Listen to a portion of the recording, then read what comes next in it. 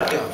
And, Yeah. and then a bit later, I think you were interviewed by Zig and Zag. Zig and Zag, Richard and Judy. Yeah, Pebble Mill one. Pebble Mill at one. So, was it? How did you react? I mean, in a way, did you? Were you kind of? Were you thinking, what the fuck am I doing here? No. Which, or, or you kind of embraced it? Zig and Zag maybe, yeah. But, uh, there's these two blokes right there, it's like, make it look real for me at least.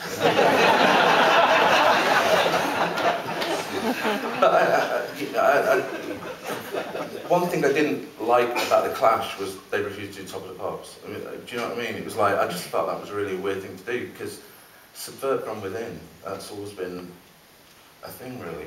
And it's like, why be in a small little club when, when you can go on Pebble Mill and, you know, say fuck in front of old age pensioners? I think it's quite funny. I think I was, I was thinking about. I think you're probably the most pop person that I've, that I've ever met. I was very, very pop.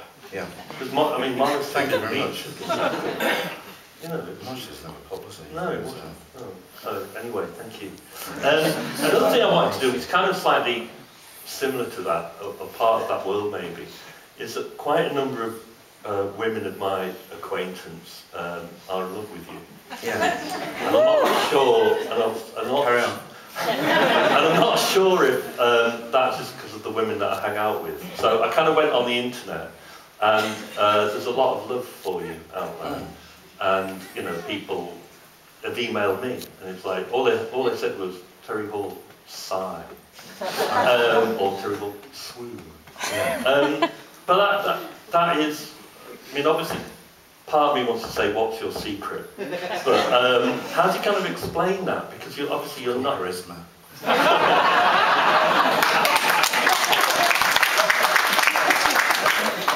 I, I, really. I really hope some rubs out on me today. Um, but th does that? I mean, were you? Uh, I mean, I, I, I mean, I don't know what, what kind of extent that was, but there was a kind of teeny bop type moment Mm, for you. yeah. Did, was that easy for you to, to deal with, or, or did, did that actually? What girls say, fantastic. Really easy. Were you not married at, at Yeah, but it's really easy to think it's also fantastic. Um, there was uh, a time, uh, we, t- we talked about it a, a little bit earlier, back, backstage actually, but there was a time when you were based in Manchester uh, and we were trying to work out exactly when that was. But um, it was kind of the Colourfield era, Yeah. I think. Yeah. And um, I can remember uh, you and Karl and Toby coming in to the world famous Hacienda, Yeah. which at the time was Wasn't world famous. was it? It was empty, basically, wasn't it? I mean, it was like 80, It's club, the world. Yeah, and there'd be maybe you. well, it was a place to go after, we because we were recording in um, Strawberry in Stockport. No, it was just a place to go after. It's, um, to have a drink. Get served pretty easy.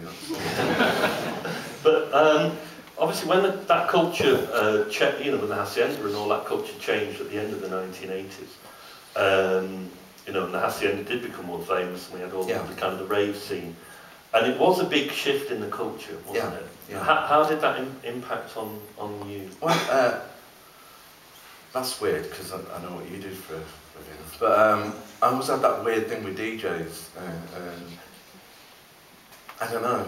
I don't know. The, the, the, whole DJ culture freaked me out a bit. And and the, the whole um, making records in your bedroom with all this technology. Well, that technology is great, but not if you're producing shit, really. That, what's good about that? It's like, um, that's, and it was very much then a, a major label thing where they could get a dance track, license it for three grand and make whatever. Um, and I, I just didn't get it. It was one of the things I didn't get, really. And um, I, I, I remember seeing a, a video uh, or TV thing with Fatboy Slim. Did I say that right? Fatboy Slim. And uh, people cheering him when he put a record on. I was like, fuck's about? Like, I don't get it. I don't get it. It's like when I open my car door, people cheer. And that's what you do. Or, uh, put the kettle on. So, Amazing kettle I just didn't get it, and uh, it was funny because I went to Ibiza for the first time in August. Uh, I actually got outvoted 24 to 1 to go. I didn't want to go.